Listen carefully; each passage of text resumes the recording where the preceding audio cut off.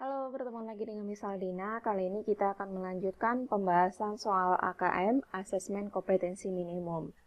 Nah, untuk soal AKM ini mengacu pada soal yang ada di PISA, Program of International Student Assessment, di mana soal-soal yang ada di PISA digunakan untuk mengevaluasi pendidikan yang ada di beberapa negara, baik negara maju ataupun di negara berkembang. Hari ini kita akan membahas soal sains, di mana siswa dituntut untuk mengeluarkan logika atau penalarannya dalam memecahkan permasalahan secara saintifik. Yuk kita lihat contoh dari salah satu soal PISA. Meteor dan kawah. Batuan di luar angkasa yang memasuki atmosfer bumi disebut sebagai meteorit. Meteorit memanas dan bersinar saat jatuh melalui atmosfer bumi. Kebanyakan meteoroid terbakar sebelum menabrak permukaan bumi saat meteoroid menghantam bumi, ia bisa membuat lubang yang disebut sebagai kawah.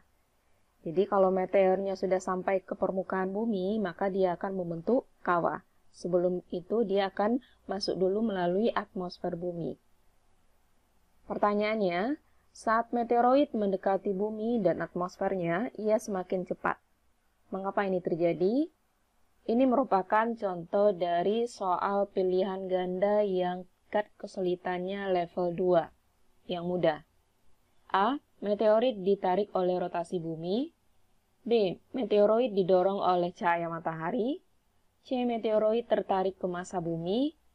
D. Meteoroid ditolak oleh ruang hampa. Untuk soal ini, kompetensi yang dituntut kepada siswa adalah untuk menjelaskan fenomena secara saintifik mengenai meteor dan kawah. Jawabannya adalah C.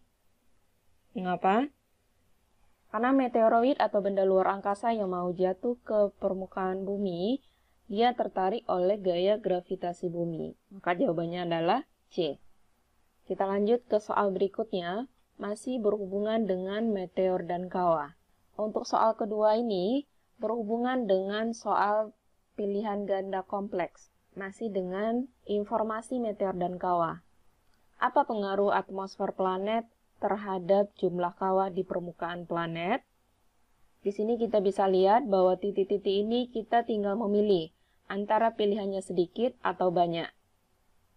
Semakin tebal atmosfer planet, semakin kawah di permukaannya karena titik-titik meteoroid yang akan terbakar di atmosfer. Jadi kita tinggal memilih salah satu jawaban ini. Ini juga termasuk soal tingkat kesulitan di level 2.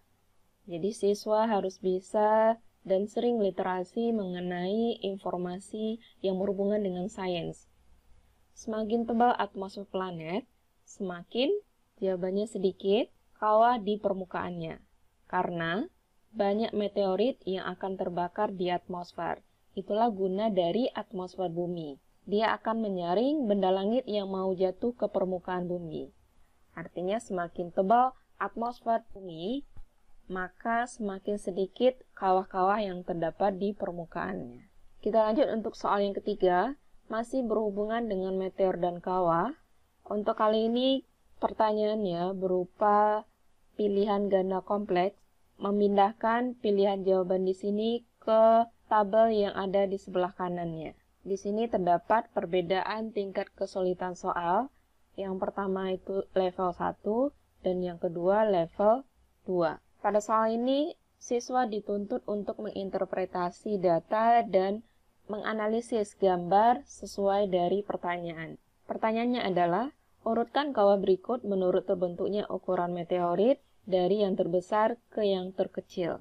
Kita lihat gambar. A besar, C sedang, dan B kecil. Jadi kita bisa langsung jawab ya.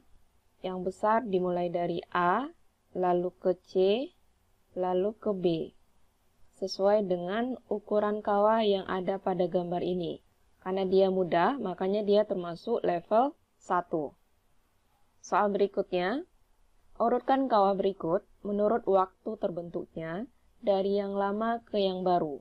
Soal ini kemungkinan sedikit sulit bagi siswa untuk membandingkan antara tiga kawah ini mana yang lama dan mana yang baru. Tapi berdasarkan Kesimpulan dari informasi literasi yang biasa dibaca oleh siswa, dapat kita simpulkan bahwa kawah yang lama akan terhimpit oleh kawah yang baru. Berarti yang lama bisa dilihat dari berdasarkan gambar ini adalah C. Di atas C akan ada kawah A, selanjutnya B. Kenapa seperti itu? Karena B berada di dalam kawah A. Jawabannya C, A, B.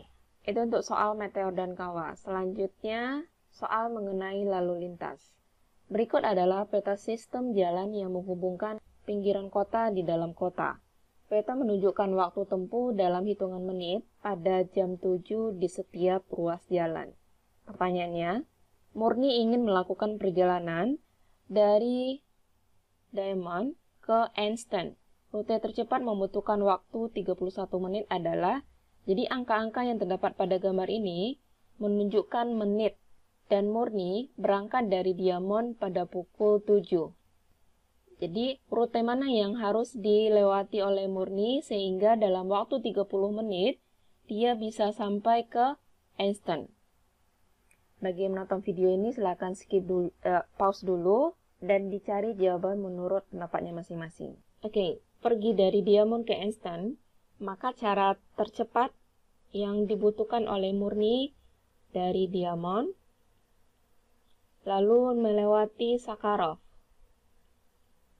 Setelah Sakharov, murni akan pergi ke market. Market lalu ke Jalan Lee, ke Jalan Mandela, baru sampai ke Einstein. Yuk kita lihat berapa waktu yang dibutuhkan. Diamond ke Sakharov ini 11. 5 tambah 6. Sakharov ke market 5. Dari market ke Lee 4. Dari Lee ke Mandela 6. Dari Mandela ke Einstein 5. Diamond ke Sakharov, Market, Lee, Mandela, dan Einstein. Bisa kita totalkan bahwa yang Waktu yang dibutuhkan murni ke Einstein adalah 31 menit. Demikian contoh soal PISA. Demikian contoh dari soal sains pada soal-soal PISA. Silakan ditunggu untuk pembahasan soal AKM berikutnya. Terima kasih.